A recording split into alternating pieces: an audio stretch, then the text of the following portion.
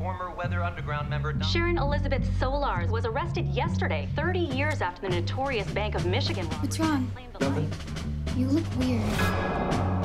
You're telling me you're a good reporter, right? These were major radicals we know how to hide. So how does the FBI find her after 30 years?